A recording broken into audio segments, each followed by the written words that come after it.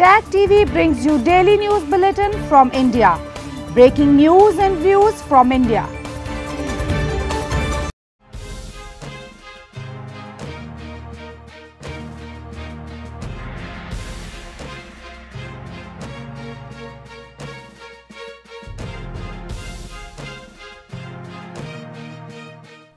Good evening. Welcome to South Asia Newsline. I'm Yeshi Chansom. Here are top stories we are tracking for you on Thursday, the 24th of December. Congress leader Rahul Gandhi meets president over farm laws as farmers' protests continue. Protests erupt in Balochistan over activist Karima Baloch's mysterious death. And markets across India ring in festive cheer ahead of Christmas.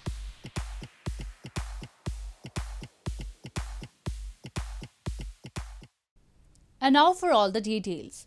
India's opposition Congress party on Thursday urged President Ramnath Kovind to ensure that the three farm laws enacted in September are repealed and demanded that the government convene a special joint session of parliament to withdraw these laws.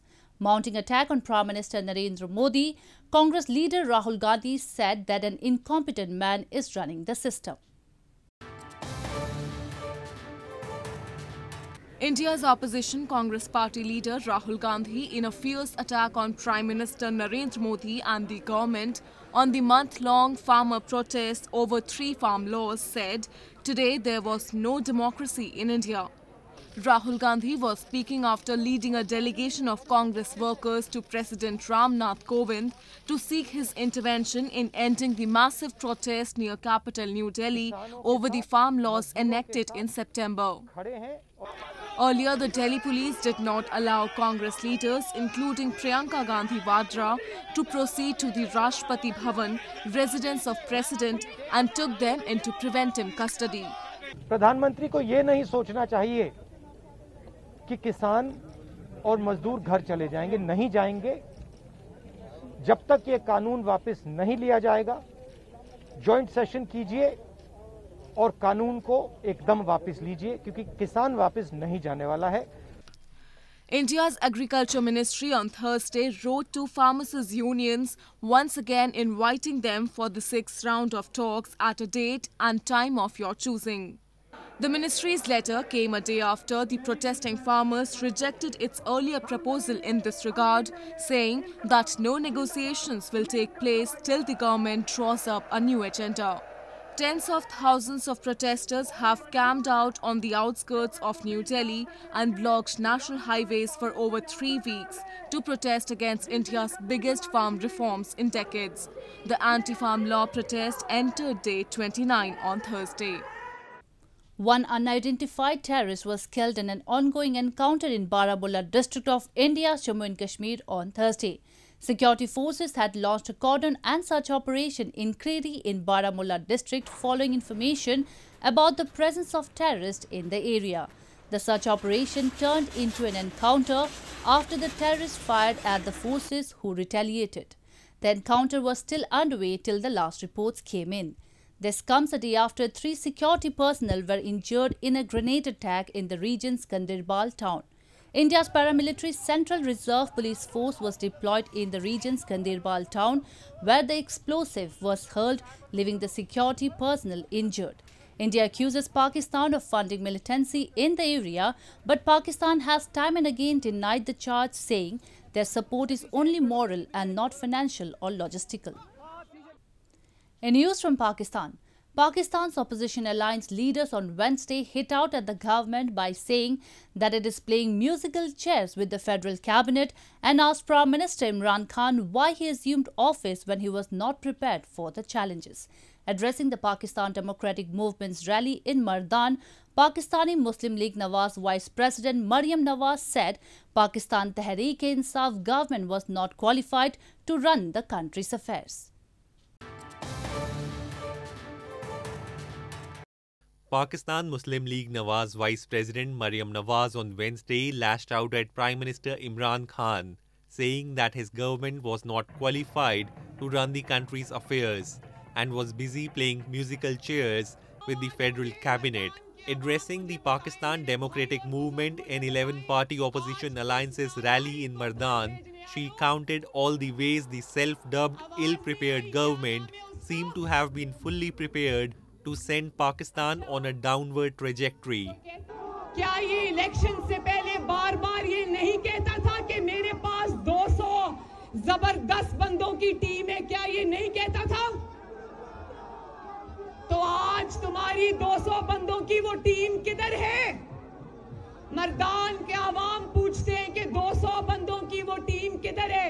हमें तो जो नज़र आ रहा है, वो ये नज़र आ रहा है कि इसके काबीना के जो अफराद हैं वो आपस में म्यूजिकल चेस खेल रहे बार बार एक दूसरे से अपनी सीटें तब्दील कर लेते हैं अपनी कुर्सियाँ तब्दील कर लेते हैं PDM chief Maulana Fazlur Rahman said the opposition had been saying that the current government is inept, but now the premier himself has admitted his failure. The PDM is leading a rally in Mardan against Prime Minister Imran Khan led government, threatening him to quit by January 31 and press the powerful military to stop interfering in politics. The Pakistan army has denied meddling in politics. In the past months, Khan has stepped up his efforts to silence the voice of the PDM, along with thousands of people who criticize the government. Hundreds of people, including activists, held protest rallies across Balochistan on Wednesday and demanded a fair probe by the Canadian government into the mysterious death of prominent Baloch activist Karima Baloch in Canada's Toronto this week. Karima was known as a vocal critic of the Pakistan army and government atrocities in Balochistan. Protest rallies were carried out in different cities across Balochistan on Wednesday against alleged killing of prominent Baloch leader and activist Karima Baloch, who was found dead under mysterious circumstances this week in Canada's Toronto. Hundreds of people, including activists, demanded a fair probe by the Canadian government into the death of Karima, who was a vocal critic of the Pakistan army and the government atrocities in Balochistan. The 37 year old Baloch activist was a refugee in Canada and campaigned extensively against enforced disappearances and human rights violations in the troubled Balochistan province. There must be a thorough investigation because this is something that creating fear among the Baloch diaspora for their safety and security because the Baloch they fled their country to be secure in west and to raise their voice against the injustices that are happening in Balochistan with their people Human rights activists have called for a thorough investigation into Karima Baloch's death, alleging it may have been carried out by state actors.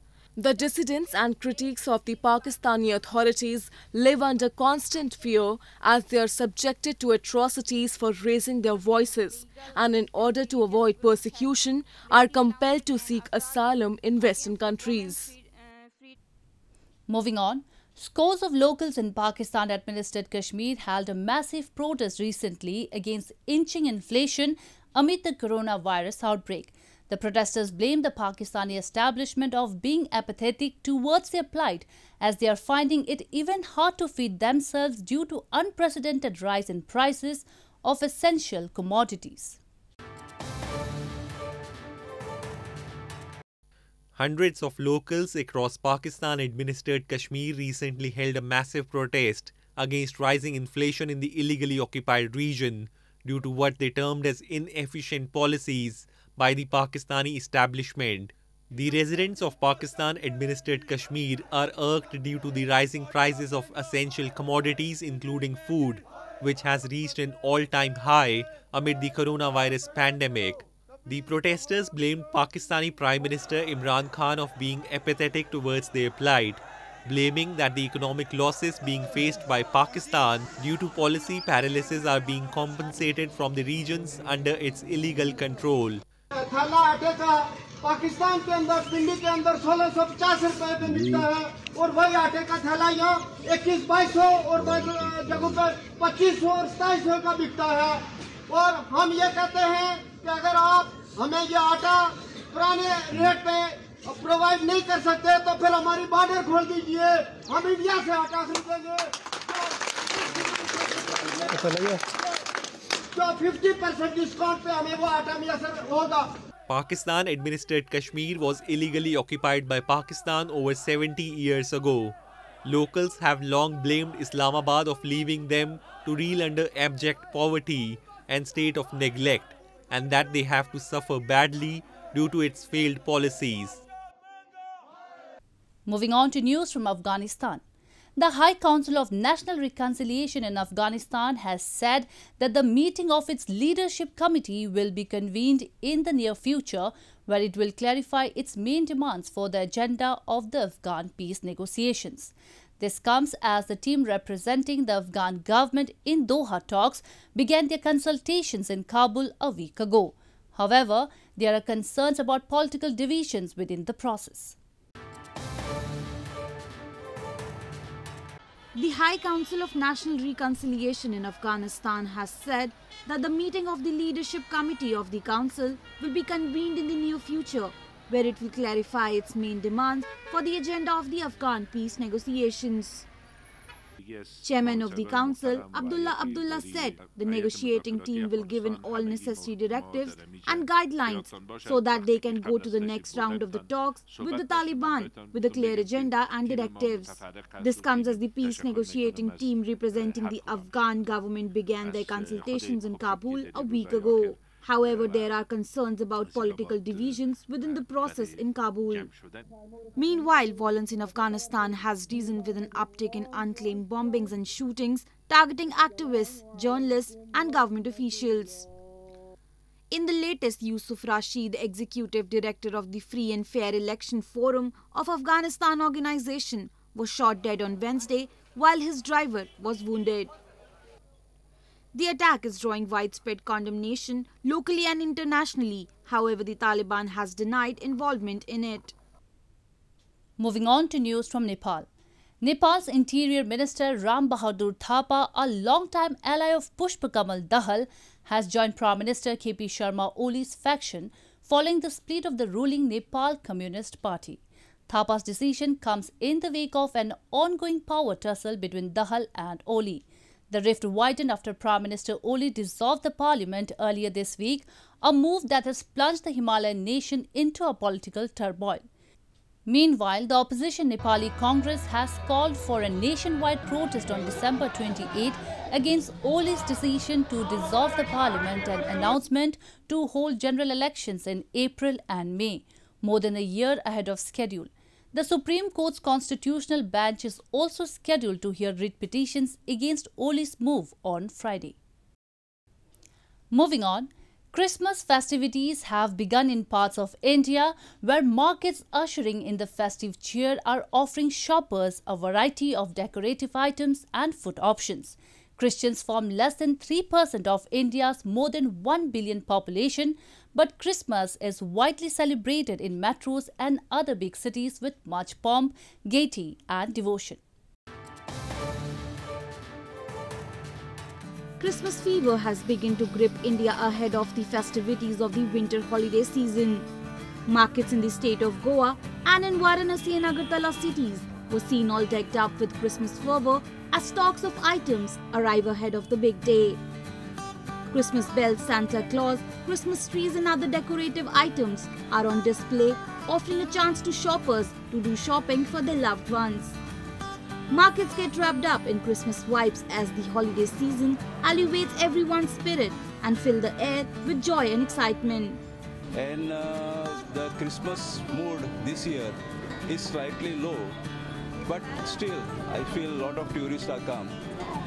And uh, uh, being a COVID season, everybody who is uh, uh, participating in this uh, festival of joy should maintain social distance. Christmas एक बहुत ही अच्छा एक नया अ, माहौल आता है new year के पहले और बच्चों में सभी में एक बहुत अच्छा उत्साह रहता है क्योंकि सजाने के बच्चों के खाने के और भी कुछ ऐसे छोटे छोटे टॉयज का बहुत अट्रैक्शन रहता है। तो हमने भी इसी तरह बहुत अच्छे एक नए नए इस साल चॉकलेट्स की बहुत अच्छी रेंज इकट्ठा की है Meanwhile, with temperature checks and sanitization amid coronavirus pandemic, devotees have started visiting church in northern Lucknow city to offer prayers ahead of the big day.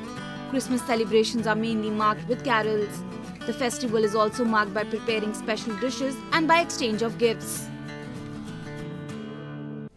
Well, that's all we have for you from South Asia this evening.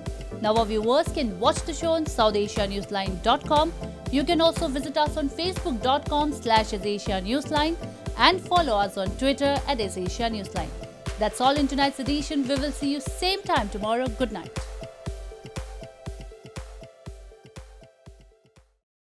Subscribe Tag TV YouTube channel and press the notification button. Subscribe Tag TV YouTube channel and press the notification button.